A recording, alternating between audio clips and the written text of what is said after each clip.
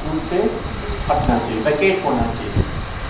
और इस तरह का ऑर्डर आया लालगढ़ में भी। ये सेकेंड तीसरा है ये इस्लाम डेमोलिशन इस्लाम डेमोलिशन और हॉकर का डेमोलिशन एक चीफ जस्टिस था हाई कोर्ट का, क्या नाम? भगवती प्रसाद। इतना बेकार आदमी था वो। गंदा आदमी था। वो खुद गाड़ी में जाएगा। बस्ती में जाएगा। देखेगा कितना गंदगी है, ये है अनऑथराइज है, गैर कानूनी है। गाड़ी में जाएगा, खुद इंस्पेक्शन करेगा दोपहर सवेरे और दोपहर को जाके कोर्ट में बैठेगा। कोई केस उसके सामने नहीं है, कोई केस उसके सामने नहीं है। और कहेगा कि मैं सुओ मोटो, अपने आप मैं केस कर रहा हूँ इन सारे लोगों के खिलाफ। मैंने खुद देखा। मुझे कुछ एफिडेविट की ज़रूरत नहीं है, मैंने खुद देखा। डेमोलिश करो। तो वो खुद इंक्वायरी करेगा। फैक्ट फाइंडिंग ऑफिसर वही है जज वही है। और किसी का जवाब सुनने के लिए तैयार नहीं है किसी का एफिडेविट लेने के लिए तैयार नहीं है। हॉकर का एफिडेविट नहीं लेगा स्लम बिलर का एफिडेविट नहीं लेगा और ऑर्डर पास करेगा कि इनको निकालो। और निकालने के लिए बंदूक के साथ में ये लोग आया कि गाड़ी में पुलिस रेड के लिए आया। और firing private problem Ranchi, Ranchi town itself, uh, Islam Nagar. More than um, 1200 houses, 1200 constructed houses were demolished in, uh, in one day. उन लोगों ने सुप्रीम कोर्ट में अप्रोच किया था वो तैयार नहीं बन सुप्रीम कोर्ट से कुछ ऑर्डर आ जाएगा तो फिर स्टे हो जाएगा बोला कि सर लोग वहाँ पर प्रे कर रहा था कि सर हम लोग सुप्रीम कोर्ट में हैं पुलिस के सामने लोग गिरा रहा था कि we are supreme court please stay for one day but they listen anything वहाँ पर उन लोगों ने प्रोटेस्ट किया तो पुलिस ने गोलियाँ चलाई two person we killed two person we killed और उसके बाद शाम में सुप्रीम कोर्ट ने ऑर्डर किया कि ठीक है, इसको दो दिन दो दो दिन बाद सुप्रीम कोर्ट ने ऑर्डर किया कि इसको जितना जल्दी हाईकोर्ट डिस्पोज करे। उसके बाद हाईकोर्ट ने सुप्रीम कोर्ट के ऑब्जर्वेशन के मद्देनजर वो रिहेबिलिटेशन के लिए बोला। अदरवाइज़ पर बारह सौ घर which more than ten bulldozers were demolished in one day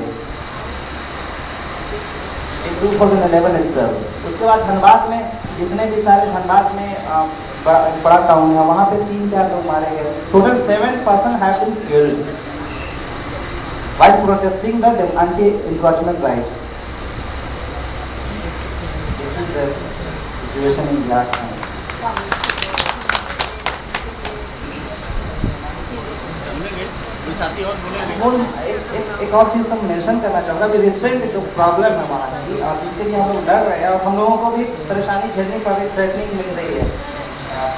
On the part of government and Palamu Palamu is no most conflict zone जहाँ पे शुरुआत झारखंड में कहा जाए तो Naxalism was started from there that area very particular area Palamu. तो वहाँ पे अब अनाकोंडा ऑपरेशन और ये वो हमेशा ऑपरेशन पुलिस ऑपरेशन चलते रहते वहाँ पे cobra battalion and C R P F and Jharkhand jaguar force and other forces joint military operation इसमें अभी तक एक लातेहार एक डिस्ट्रिक्ट है जहाँ पे मैंने देखा दो तीन सालों में चार पाँच लोगों को मार दिया है। Four and five more than four हाँ। फाइव पीपल या और उस पर हम लोगों ने पिटिशन डाला है हाई कोर्ट में कि पर जाँच कराओ। क्यों एक ही डिस्ट्रिक्ट में बार बार अब सारे इनोसेंट अभी तो हाथ कर दिए लोग, हाथ कर दिए लोगों के deaf and dumb person tribal person किस चीज़ के मारे को बहुत तगड़ा देखने में हल्का करता था।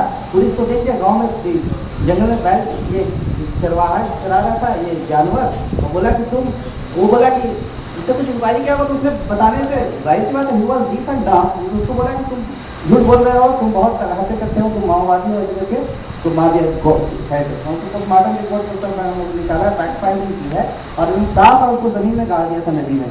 हम लोग जा करके हम लोगों ने आठ दिन के बाद हम लोगों ने इंक्वायरी की एफ़ आई आर करवाया और उस, उसके बॉडी को वहाँ से निकलवा करके उसका पोस्टमार्टम कराया पलामू के डॉक्टर को वो पोस्टमार्टम करने को रेडी नहीं थे फिर रिम्स रांची भिजवाया हम लोगों ने।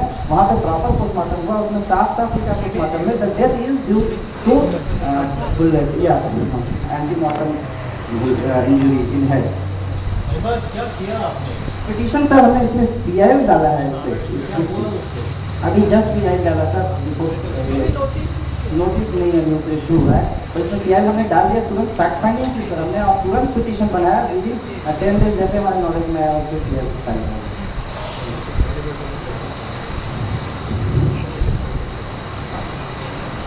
अ, साथियों जैसा कि आप झारखंड के संदर्भ में आप सुन रहे थे झारखंड के पलामू डिस्ट्रिक्ट से मैं आता हूँ और पलामू डिस्ट्रिक्ट में नक्सल मूवमेंट के नाम पर लगातार प्रेशर चल रहा है। अभी एक घटना घटी है छत्तीसगढ़ में। छत्तीसगढ़ में जो डीएम को उन्होंने जो नक्सलाइट लोग अपहरण किए थे, सरकार ने बोला कि ये अपहरण करके इस डीएम को, कलेक्टर को झारखंड में रखा गया था। ऐसा उसने बोला। जबकि वो वहाँ से वहाँ कम से कम 500 किलोमीटर की दूरी है, उससे भी ज़्यादा। छत्तीसगढ़ के सुगरा डिस्ट्रिक्ट है, जहाँ से पकड़े गए वो डीएम और उसको रखा कहा गया? तो झारखंड के वो एक पलामू गढ़वा डिस्ट्रिक्ट में भंडरिया ब्लॉक है वहाँ। वहाँ इसलिए ऐसा सरकार बताई, क्योंकि अब वहाँ उसको गोली चलाना था रिप्रेशन करना था नक्सलाइट के नाम पर सैकड़ों लोगों को गिरफ़्तार करना सिर्फ़ इसलिए उसने ऐसा क्लेम लगाया कि चूँकि यहीं पर रखा गया। ये बड़ा घटना वहाँ पर लगातार घट रहे हैं, खास करके दलितों के साथ लगातार घट रहे हैं। एडमिनिस्ट्रेशन के तौर पर इधर आप देखेंगे तो क्या 112 एट्रोसिटी एक्ट के मामले पलामू डिस्ट्रिक्ट में आज तक है। और एक दिन में 8 मार्च 2011 के डेट में 28 एट्रोसिटीज के मामले को एक बार में एसपी ने कह दिया कि ये सब के सब झूठे मामले हैं। और तीन महीने में 42 42 केस को को खत्म कर दिया गया एट्रोसिटीज के मामले को। तो इस तरह से जो एट्रोसिटीज के मामले हैं, सरकार की तरफ़ से भी प्रेशर लगातार उसको खत्म किए जा रहे हैं और दूसरी तरफ़ नक्सलाइट बताकर दलितों के साथ लगातार उत्पीड़न किए जा रहे हैं। तो ये पलामू में लगातार घटनाएँ घट रही है। दूसरी चीज़ें मुझे लगता है कि एक बहुत महत्वपूर्ण अभी झारखंड में चल रहा मूवमेंट और वो है सी एन टी एक्ट छोटा नागपुर टेनेंसी एक्ट ये छोटा नागपुर टेनेंसी एक्ट जो दलितों की ज़मीन दूसरे के दलित नहीं ले सकते हैं, आदिवासियों की ज़मीन को दूसरे आदिवासी नहीं ले सकते हैं। ये 1908 का बना हुआ कानून है, और एक तरह से देखिएगा कि ये कहीं भी लागू नहीं है। हम अगर उसको लागू कराने की मांग करते हैं तो सीधा सीधी हम नक्सलाइट हो जाएँगे, और कहीं ना कहीं जेल चले जाएँगे। ये एक बड़ा मामला है। दूसरी चीज़, ऐसे जो भी 100 एमयू हुए हैं, वो सब के सब सीएनटी एक्ट के मामले में आते हैं। मतलब कि आप आदिवासियों की ज़मीन नहीं ले सकते, कोई कंपनी है। लेकिन ये सारी की सारी जो कंपनियाँ हैं, दलितों के ज़मीन लिए हुए हैं, और इन पर वो सीएनटी एक्ट लागू नहीं होता है। एक साउथ के जो अभी वहाँ पर आई एस अफसर गए उन्होंने बोला कि सीएनटी एक्ट का 46 ए पूरी तरह से लागू होगा। सरकार ने तुरंत उसके एक छोटा सा चिट्ठी निकाला, बोला कि ये लागू नहीं होगा। मुझे लगता है कि ये कानून भी बड़ा झारखंड में मज़ेदार चीज़ें हैं। देश भर में कानून लागू होती है, झारखंड में वो कानून कहीं लागू नहीं होती एक छोटे से चिट्ठी सीएम निकालेंगे और वो सीधा बंद। वो कानून अभी लागू नहीं होगा। तो ये झारखंड के संदर्भ में बहुत सारे जो कानून हैं, उसकी मज़ाक किए जा रहे हैं। और आप सभी लोग जान रहे हैं, अभी आप जैसा तेलंगाना के बारे में चिंतित थे, झारखंड के, झारखंड में पाँच मिनिस्टर अभी जेल में है। झारखंड में बारह साल अभी बने हुए हो गए और नौ मुख्यमंत्री चेंज हो गए हैं आठ राज्यपाल चेंज हो गए हैं। इसी तरह बहुत सारे घटनाएँ लगातार झारखंड में घट रही हैं। मुझे लगता है कि दलितों के संदर्भ में झारखंड में और खास करके वैसे जोन में पलामू, गढ़वा, लातेहार, चतरा चतरा में 32 परसेंट शेड्यूल कास्ट है, दलित है।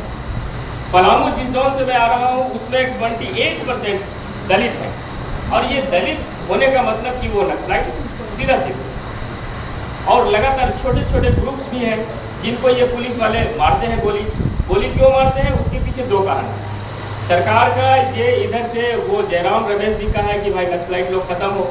और वो करोड़ों रुपए देते हैं। और ये करोड़ों रुपए सरकार गोली मार देती है और वो दिखाती है कि देखिए नक्सलाइट लोग खत्म हो रहे हैं। छोटे छोटे ग्रुप को खत्म करते हैं। तो ऐसे में खास करके दलितों और जो बिल्कुल पहुँच वाले नहीं है, जो वीकर सेक्टर है, जो सबसे कमज़ोर लोग हैं उनको ये लोग शूट करते हैं वो लोग उसको मारते हैं। तो ये दलितों के संदर्भ में बहुत सारी लगातार घटनाएँ घट रही है और मुझे लगता है कि पूरे झारखंड में ये घटनाएँ घट रही है। धन्यवाद। क्या किया जाए? अब मुझे लगता है कि बड़ी संशय स्थिति है। बहुत। लोग इतने डरे हुए हैं वहाँ इतने लोग डरे हुए हैं। मैं खुद भी इधर खड़ा हूँ तो सत्रह सी एल का इधर मुस्लिम हूँ दो हज़ार पाँच उन्नीस सौ पंचानवे का। तो एक साधारण अगर स्टूडेंट भी है तो उसको किसी न किसी तरह से वो मुकदमा डाल देते हैं। क्या किया जाए? मुझे लगता है कि एक तो मूवमेंट हो रहा है उस मूवमेंट के साथ एच को खड़ा होकर और उसकी कानूनी पक्ष को थोड़ा ठीक से ये किया जाए। और मुझे लगता है ये चालीस के साथ क्या आप पलामू के हैं. आपने पलामू के बारे में दिक्कतें बताया कठिनाइयाँ परेशानियाँ लेकिन क्या सोल्यूशन है। क्या करना चाहिए क्या को उस एरिया में जहाँ पे काम करना मुश्किल है पलामू में क्या होना चाहिए बताओ। अरे मुझे तो एक ये चीज़ लगता है कि आप हाईकोर्ट में जो भी केस है प्रेशर डाल के उसको लागू करें हाईकोर्ट पटना में है। नहीं, रांची रांची में। हाँ पलामू में भी जो कोर्ट केस चल रहे हैं डिस्ट्रिक्ट जज में वहाँ एक तो बहुत सारे केस की सुनवाई ठीक ठाक से नहीं होती। एकदम होता ही नहीं है। तो पलामू में लीगल एक सेंटर हो सकता है? हाँ एकदम बिल्कुल होना चाहिए। पलामू में एकदम लीगल है। 108 मुकदमे तो ये तीन साल पहले के हम एट्रोसिटीज के मामले बता रहे हैं। अभी लगातार हो रहा है। उसमें एक तो पूर्व मिनिस्टर का केस है। जो दलित एट्रोसिटीज के मामले हैं उसमें एक पूर्व मिनिस्टर भी है और वो ज़मीन के मामले में लगातार लड़ रहे हैं। एट्रोसिटीज के मामला है लेकिन तब भी उनको सुना नहीं जाता है। ये स्थिति है उनकी कोई पहुँच नहीं है कि मेरे जोरावर नाम उनका नाम है तो पलामू में एक मीटिंग अगर रखोगे कहाँ से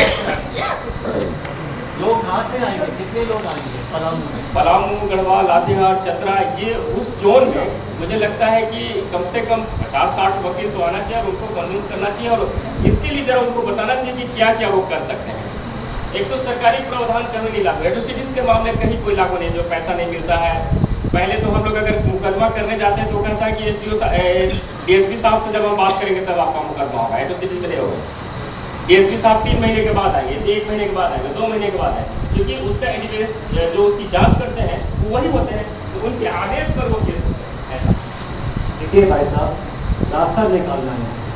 झारखंड में सालों से हमारा लीगल सेंटर नहीं था, अभी एक छोटा सेंटर है। सेंटर है रांची में। रांची में दो वकील हैं, छोटा छोटा सा है। नौजवान वकील है, लेकिन काफ़ी मतलब केसेस किया, कुछ रिज़ल्ट भी आया।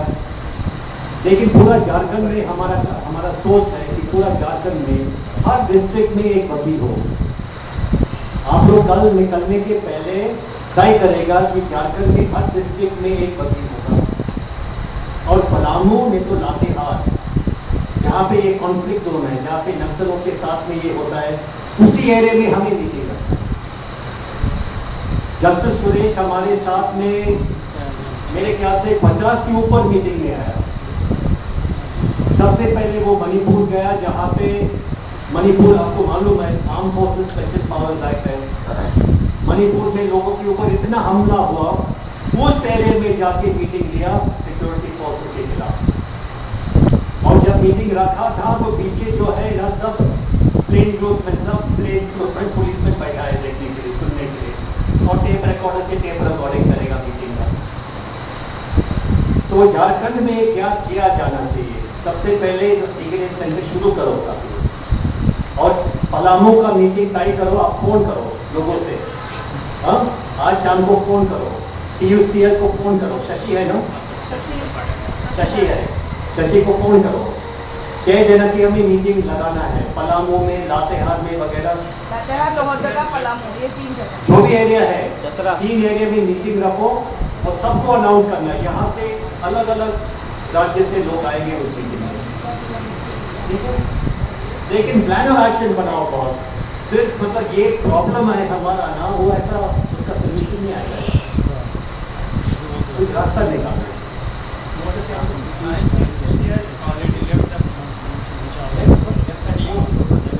Doesn't matter. With PUCL, without PUCL, जो भी है लोगों के साथ जब आप मीटिंग रखोगे अकेले मत रखना H R L N H R L N छोटा सा संस्था है। H R L N P U C L जो ये जन संघर्ष मूवमेंट है, उनके साथ में रखो मीटिंग लेकिन उस एरिया में जाना चाहिए जहाँ खतरा है। हम रांची में बैठ के मीटिंग रख सकते हैं, इसमें क्या फ़ायदा? बॉम्बे में समुद्र के किनारे पर मीटिंग रखा तो क्या फ़ायदा? उस एरिया में रखना, जहाँ पे खतरा है लोगों को, बोलने में। और जस्टिस सुरेश सुरेश शायद आएँगे या कोई और हाईकोर्ट जज आएँगे जस्टिस सुरेश का तबीयत थोड़ा नाजुक है। अगर ठीक है तो उसको लेकर आएँगे। हाईकोर्ट जज भी आएँगे। है ये तो कोई और आएगा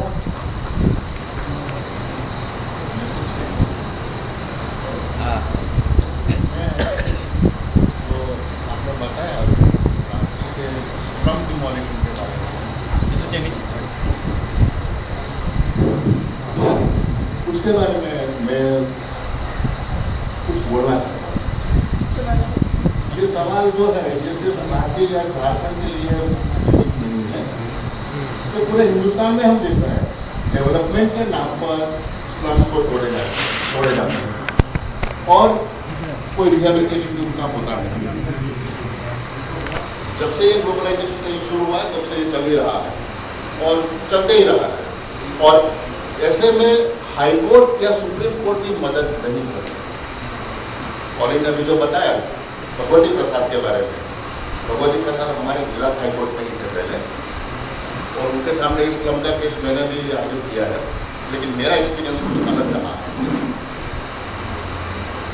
सभी लोग लॉयर्स हैं।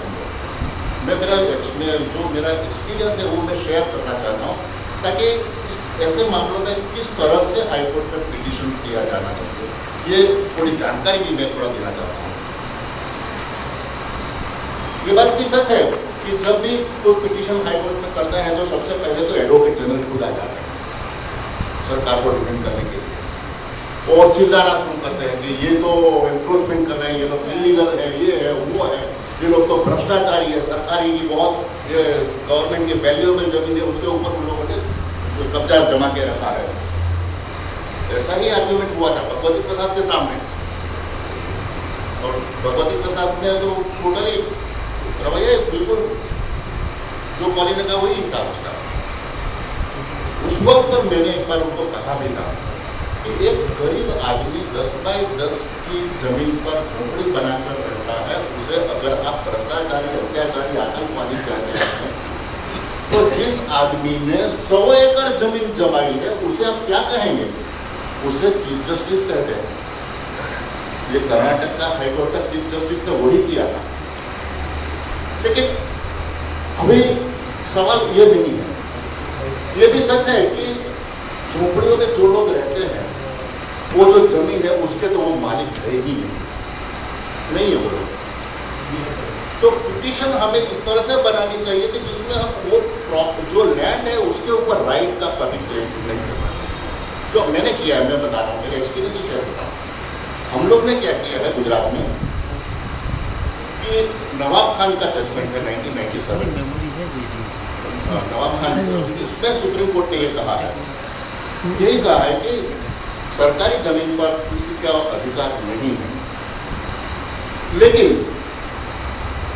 अगर गवर्नमेंट की कोई स्कीम है हाउसिंग स्कीम है रिहेबिलिटेशन स्कीम है तो उन्हें उसमें प्रेफरेंस देना चाहिए और जब तक ये उनको रिहेबिलिटेशन नहीं करते तब तक उनको हटाना नहीं चाहिए। हम लोगों ने गुजरात हाईकोर्ट में ये भी किया। कि नवाब खान का जो जजमेंट है, उसको साइड करते हुए हमने, हमारी प्रेयर हमने लिमिटेड ही रखी थी कि जब तक जीएनएमयूआरएम की जो हाउसिंग स्कीम है या फिर स्टेट गवर्नमेंट की जो भी हाउसिंग स्कीम है, वो हाउसिंग स्कीम के तहत प्रेफरेंशियल ट्रीटमेंट देकर हमें जब तक रिहेबिलिटेट नहीं करते, तब तक इसको स्टे ऑर्डर इसको हमें हटाया ना जाए। और एक जजमेंट एक एक बार एड ऐसा इंटरिम ऑर्डर आ गया, उसके बाद फाइनल ऑर्डर भी आ गया, अभी वो प्रेसिडेंट बन गया है। भगवती प्रसाद ने भी मेरे साथ यही कहा था कि ये तो एंक्रोचर है। मैंने कहा, लेकिन but you are bound by the president पहले मैंने यही हाईकोर्ट का जजमेंट है। You have to differ refer to the larger bench और उसी भगवती प्रसाद ने हमें ऑर्डर दिया और रिहेबिलिटेशन करवाया। और अभी क्या हुआ है कि गुजरात पूरे मैं कहूँगा कि थोड़ा हटकर हुआ है। हालाँकि बहुत इम्प्रूवमेंट नहीं है, लेकिन कम से कम एक बड़ौदा शहर के अंदर भी हम लोगों ने छह हज़ार मकान बचाए हैं और उनको सबको रिहेबिलिटेट किया है। अहमदाबाद में कम से कम दस हज़ार मकान हमने बचाए हैं और तो उसमें से साढ़े चार हज़ार रिहेबिलिट अभी तक हो चुके हैं। इसलिए जो, हमारे जो एडवोकेट जो ये ये स्लम्स में जो काम करते हैं, जो पिटिशन करते हैं तो पिटिशन को इस तरह से ड्राफ्ट करना होगा कि जो हाईकोर्ट रिलीफ दे सके अगर आप माले के उस पर मांगेंगे तो डिसमिस हो ही जाएगी। Hundred percent. तो आइंदा कुछ भी अगर आपको कोई भी हेल्प चाहिए हमारे चार एल में से हम पूरी मदद करने के लिए तैयार हैं। हमारे हेड ऑफ़िस में भी बहुत सारे हमारे वेबसाइट्स में भी पिटिशन है। और गुजरात हाईकोर्ट के ऑर्डर्स भी हैं जजमेंट्स भी हैं। ये आपको मदद करेगा। Of course may not be binding लेकिन गाइडिंग तो ज़रूर है। भगवती प्रसाद का भी कोई ना कोई ऑर्डर मिल जाएगा। तो ये मदद कर सकता है। ये मैंने बोला था हाई कोर्ट में का ये पिटिशन डाली थी आ, इसमें उसी केस में जो दो मोटो था इसी चीज़ को मैंने कहा था कि अब मैंने तो राइट अपना बताया ही नहीं। मैंने बोला कि ऐसी जो में ने जिसे बना आपने तोड़ दिया है उसको आप रिहेबिलिटेट करने का ऑर्डर दीजिए कहीं भी। या फिर जो बचे स्टूडेंट्स हैं उसको आप जब तक रिहेबिलिटेशन नहीं होता है तब तक आप स्टे कर दीजिए। यही यही सिर्फ़ और यही सिर्फ़ वही प्रेयर और उसका जो जो भी जजमेंट लिखा देते हैं नवाब खान जजमेंट। भगवती प्रसाद ने भगवती प्रसाद ने डांटा डॉक्टर ने यही कहा था कि हम हर चीज़ के लिए सरकार को ऑर्डर नहीं करेंगे। गवर्नमेंट को हम हर चीज़ के रिहेबिलिटेशन के लिए ऑर्डर नहीं करेंगे। आप जाओ सरकार के पास। नहीं होता है तब हमारे पास चुनाव साहब चीफ जस्टिस बनने के बाद मन मन बदला मन बदल गया था बिल्कुल। तो मैंने कहा बोला कि हम मतलब कितनी कॉम्प्लिकेट बात है कि वो तोड़ने के लिए बोलते हैं, कितना इम्प्लीमेंटेशन कराते हैं, पर जब रिहेबिलिटेशन की बात आती है तो वो बोलते हैं नहीं, हम इसके कोई ऑर्डर पास नहीं करेंगे। एक लाइन वो मैंने बोला कि सर एटलीस्ट रिहेबिलिटेशन वर्ड वो में वो नहीं तैयार बाइंडिंग जजमेंट और को मैंने किया था में निकाला है। मैं ज़रूर आऊँगा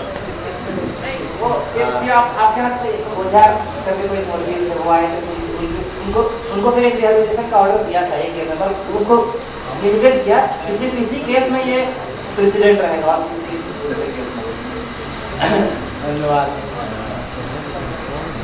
भाई और जैसे कॉलिन ने जिस बात की तरफ़ इशारा किया है जब हम नेटवर्क बना रहे हैं और जब हमारे पास एक मज़बूत नेटवर्क उपस्थित है तो हमको समस्याओं के बीच में रास्ता निकालने की गुंजाइश को भी देखना चाहिए कि उसमें जो सोशल मूवमेंट है, उसके साथ हम कंसोलिडेट कर रहे हैं, उसके साथ हम खड़े हो रहे हैं। लेकिन कानूनी रास्ते पर, चाहे छोटी कोर्ट हो, चाहे सबसे बड़ी अदालत हो, सुप्रीम कोर्ट की, वहाँ उनके इश्यूज़ को कैसे ले जाया जाए, इस पर भी हम लोग जब अपनी बात रखेंगे, आगे के साथ ही इस पर ज़रूर गौर करेंगे कि अगर किन्हों, किन्हीं को सफलता मिली है तो हम अपनी सक्सेस की स्टोरी यहाँ पर रखें। लेकिन कोई वहाँ की परिस्थिति के बारे में अपनी बात कह रहा है तो उस परिस्थिति से उस मौजूदा हालत से निकलने के लिए क्या रास्ता है, इस पर भी अपनी बात, अपनी सोच रखें, या लोगों से राय मांगे। यहाँ पर एक खुली बहस का भी ये मंच है।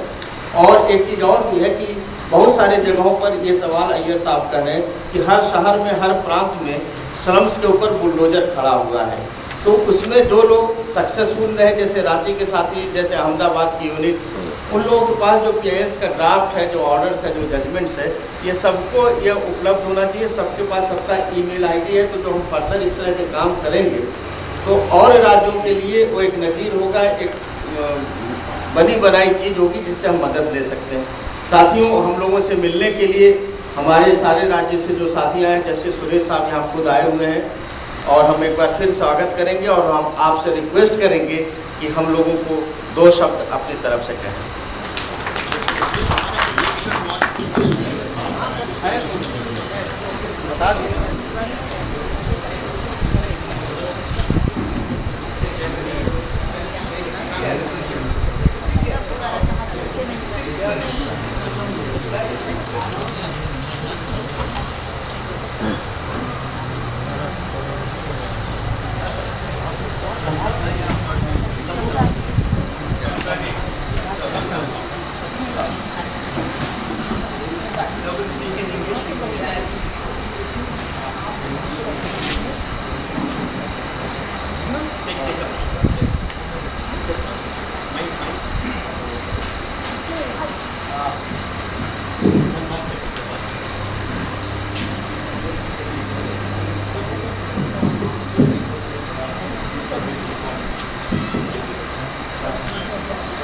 saying, uh, I would firstly compliment you for forgetting your vacation, coming here and discuss something very serious about what is going on in this country.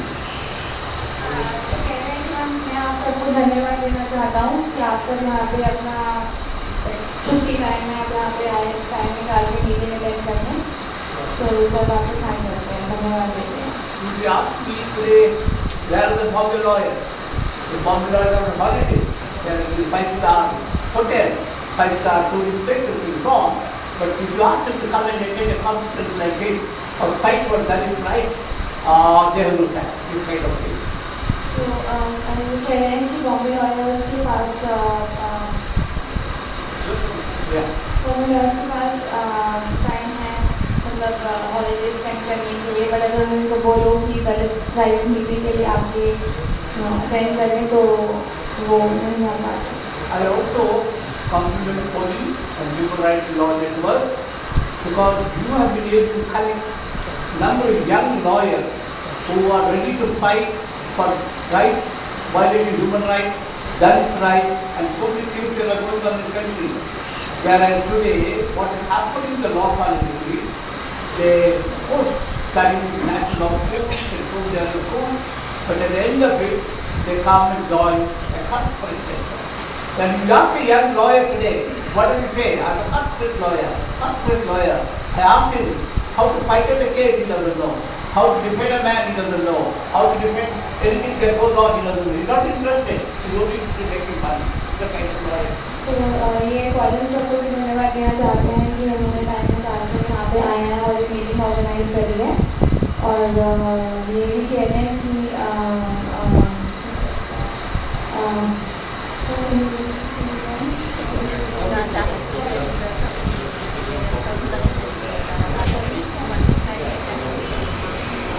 बहुत सारे कॉर्पोरेट लॉयर्स हैं जो जो इन्वॉल्व हैं कॉर्पोरेट सेक्टर्स में पर उनमें बहुत कम जो यहाँ पे आके ग्राउंड लेवल पे काम करना चाहते हैं There was a time in in Bombay, I can tell you, that uh, a poor man's case, you can think of a dozen lawyers, you can think of more than a dozen lawyers who I can tell them if you are going to the lawyer, voting is quite wonderful. And today, you have to find a lawyer for the, for the cause of poor man.